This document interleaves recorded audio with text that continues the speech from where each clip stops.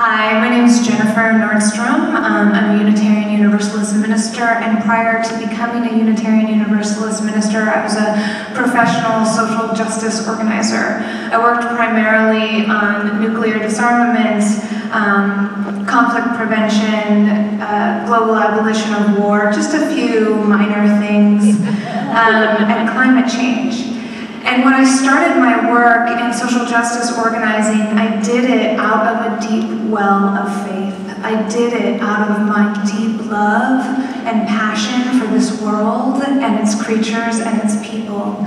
Um, and I was motivated to go out into the world and try to make change. And I worked at the United Nations and I worked at the U United States Capitol and I was in the grind daily, um, putting my spirit and my heart and my body into this work every day. Um, and I burnt out again and again and again.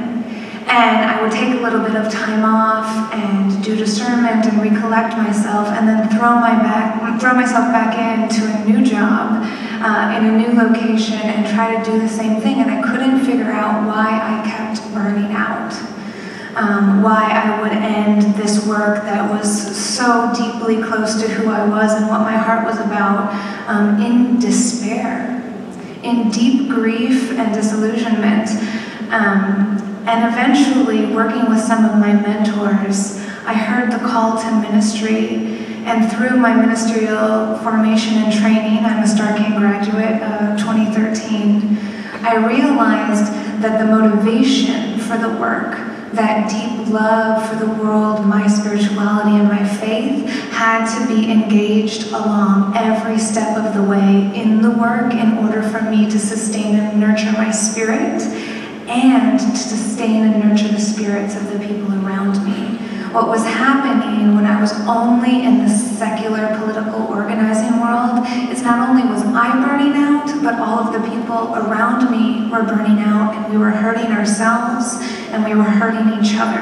And so I do faith-based, faith-rooted organizing because I believe that, and I have seen that when we don't do it, when we don't have that daily reconnection to our source, we sometimes do more harm than good.